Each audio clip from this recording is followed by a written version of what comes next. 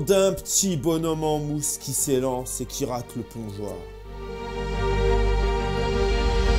Salut tout le monde, c'est Luthor, j'espère que vous allez tous très bien. Moi les gars, ça va super. Cette vidéo, elle est un petit peu chelou les gars. En fait, il va y avoir deux clans sur cette vidéo. Juste ici, il va y avoir les joueurs mobiles qui, eux, ils vont être trop contents. Juste là, il va y avoir tous les autres. Eux, ils vont être trop dégoûtés, les gars. Ils vont être trop dégoûtés, je vous préviens d'avance. Parce que ce que vient de nous annoncer Konami, ceux-là, ça va les réjouir de ouf. Ceux-là, ça va les vénérer de ouf. Et je comprends tout à fait. L'annonce, elle est complètement folle. Mais les amis, arrêtez de faire la tête. Il y a quand même une bonne nouvelle. C'est qu'à l'occasion du Black Friday, mon partenaire Footmus casse complètement les prix. Déjà, avec mon code LUTHOR, vous n'avez pas 10, mais vous avez 20% de réduction.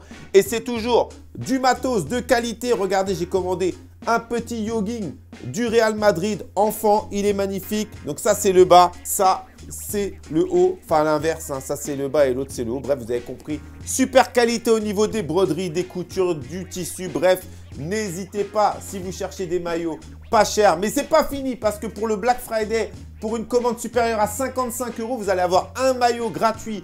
Pour une commande supérieure à 95 euros, deux maillots gratuits. Et pour une commande au-dessus de 155 euros, trois maillots gratuits. Ça, franchement, si c'est pas beau, merci Footmus et vive le Black Friday. Black Friday. Et pour vous expliquer un petit peu ça, je me demande si ce serait pas bien de faire appel à Jean Chiaki. Le retour de Jean Chiaki, c'est tout de suite. Jean Chiaki, viens voir Oui, chef bah alors, t'as l'air un petit peu fatigué. Un petit peu, ça faut dire qu'on fait des journées de 18 heures quand même. Oui, chef, qu'est-ce qui se passe? J'ai une bonne nouvelle, Jean Chiaki. On va faire un season update de PES 2021 C'est vrai, chef, mais c'est génial. Les, les fans, c'est tout ce qu'ils demandent, ils vont être trop contents.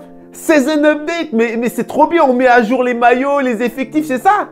Bah oui Oh chef, mais ça c'est une trop bonne idée, mais je savais, vous êtes trop fort, vous êtes le meilleur. Bah oui, mais sur mobile. Quoi? On va faire le season update sur mobile, tu vas voir, ça va être génial. Que sur mobile? Bah oui. Mais les joueurs console Mais on s'en fout des joueurs console, ils ont déjà eFootball 2022, machin truc là, c'est très bien. Non, mais chef, on va encore se faire insulter. Allez, dégage, dégage.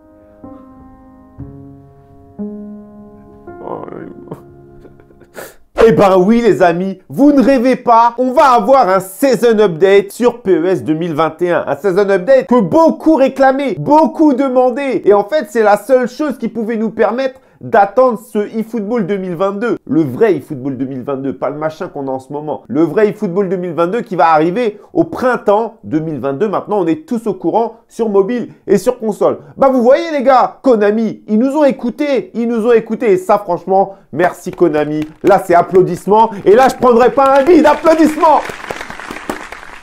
Sauf que du coup, tu as quand même compris que c'était que sur mobile. C'est un update que sur mobile. Les joueurs console, eux, bah ils vont rester avec euh, l'espèce de démo claqué là, euh, eFootball machin euh, claqué. Donc oui les gars, c'est complètement ouf. Encore une fois, Konami là, qu'est-ce qu'ils nous disent? Ils nous disent nous, c'est le mobile les gars, le mobile, focus sur le mobile. On s'en fout de décevoir les joueurs console, les joueurs PC. Par contre, les joueurs mobiles, eux, on les bichonne, on les caresse. On peut pas les laisser avec ce jeu sans mise à jour jusqu'au printemps 2022. Ça fait trop long pour les joueurs mobiles. Donc, on va leur faire une season update, c'est-à-dire qu'on va leur mettre à jour les transferts, les maillots. On va également leur mettre bah, les match day. Hein. On va leur remettre les défis, etc. C'est là que tu vois vraiment Konami, fonctionne pas du tout pareil avec les versions mobiles. Et c'est pour ça, à mon avis, que ça avait disparu du site, le mobile, parce que leur plan de mobile, il est précis. Hein. C'est maintenant une season update jusqu'à la sortie de la mise à jour du 2022. 2022, la mise à jour. eFootball 2022 mobile. Et puis après, fin de l'année 2022, octobre-novembre, comme d'habitude, la mise à jour eFootball 2023. Donc, le mobile, les gars, autoroute du bonheur, ils sont contents, ils sont, ils sont pépères, tu vois. Par contre, les joueurs console,